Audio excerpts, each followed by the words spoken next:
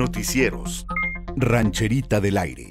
Elementos de la Policía Preventiva Municipal y elementos de la Agencia de Investigación Criminal tomaron conocimiento de un robo en una escuela primaria denominada Armando Quintero Lira, ubicada en la calle Lirio del Valle, en la colonia Valle Escondido de Piras Negras. Hasta donde acudieron los elementos policíacos se percataron que habían causado daños y llevarse diversos aparatos electrónicos. Así lo dio a conocer el coordinador de Ministerios Públicos, Santiago de Jesús Espinosa Guía. Cabe mencionar que tras el reporte se realizarán las investigaciones correspondientes y se detuvo a tres personas, entre ellos dos menores de edad, los cuales ya se encuentran a disposición del Ministerio Público. Bueno, sí, este se tomó un reporte policíaco ¿verdad? en cuanto a que se recibió ahí un comunicado de un robo a una institución educativa.